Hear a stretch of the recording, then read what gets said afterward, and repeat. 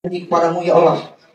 Ketika aku terpilih menjadi anggota DPRD, aku berjanji kepadamu ya Allah, tidak akan ada satu rupiah pun hak rakyat yang masuk di dalam tubuhku ya Allah. Itu yang pertama janjiku dengan Allah, bukan janji dengan masyarakat.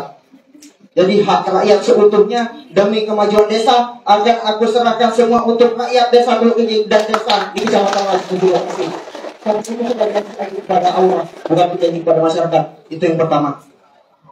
Janji aku yang kedua kepada masyarakat desa Teluk Ijing, setiap tanggal gajian pertama sampai berakhirnya masa jabatan anggota dewan selama 60 bulan, aku akan hadir buat acara apa pun itu 60 bulan.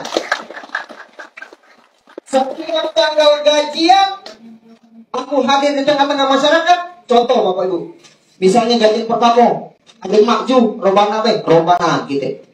Di belah ilir ada yang pengen ceramah, ceramahan gitu. Ada yang belah ini hobi jidur, jidur, ada yang hobi oke oke.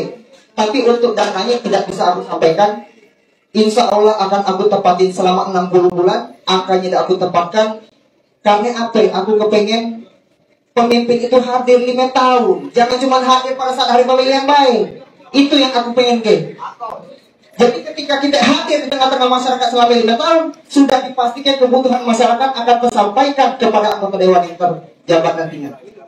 Mungkin itu saja bapak-bapak, ibu-ibu